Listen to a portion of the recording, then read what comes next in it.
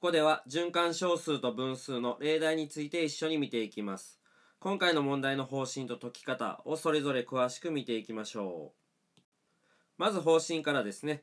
求める数を x と置いて小数点以下が揃うように引き算をするっていうのがポイントやったんですね。詳しく見ていきましょう。まず括弧1です。0.666666これを分数に直すにはどうすればいいんでしたっけ？っていうとこの与えられた循環小数をまず文字で置くんですね。例えば0.666イコール x と置きます。そしたらねこの x を分数で表すことができればいいということになりますもんね。じゃあそのためにはどうすればいいかっていうとこの x イコール0.6666666の両辺を10倍すればよかったんですね。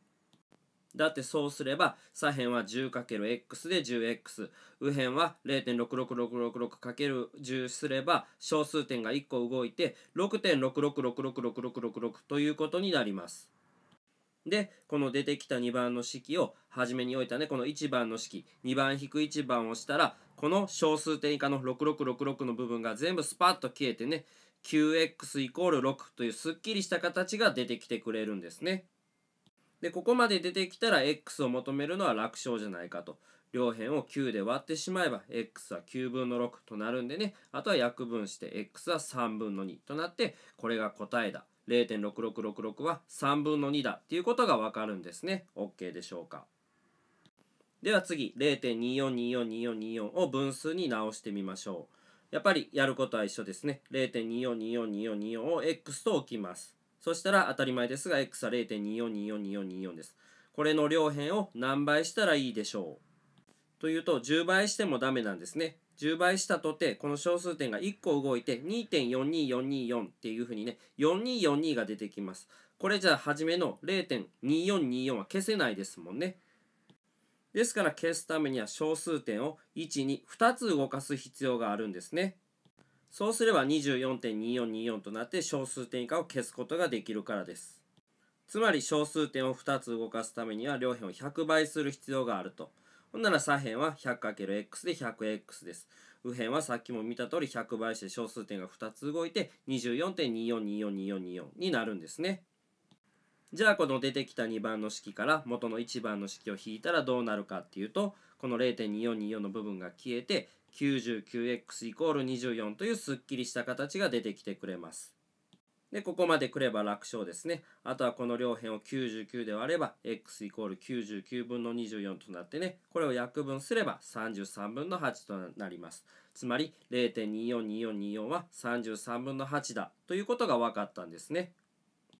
では最後、括弧3、0.135135についても見ていきましょう。分数にするにはどうすればいいかっていうとやっぱり同じですね。これをイコールまず x と置きます。そうすれば x は0.135135.135と小数点以下にね135が続く形だっていうことが分かります。じゃあこれの両辺を何倍すれば小数点以下を消せるでしょうかっていうと10倍でもダメですね。100倍でもダメですね。小数点を123 3つ動かす必要があります。じゃあ左辺を1000倍すれば 1000×x で 1000x です。右辺を1000倍すれば小数点が3つ動いて135.135135.135となるんですね。じゃあこの1000倍して出てきた式と元の式これを引き算したらどうなるかっていうと 990x イコール135というすっきりした形になってくれるんですね。で、あとは両辺を999で割れば x イコール990分の135と分かります。あとは約分するだけですね。これを約分しきれば37分の5となってね、0.135135.135は37分の5のことだったっていうことがわかるんですね。OK でしょうか。はい、ということでここでは循環小数と分数の例題について見ていきました。どうでしょうか？理解できましたでしょうかね？あとは自分でもノーヒントで再現できるようにこの問題の類題など見つけてしっかり練習して身につけておきましょう。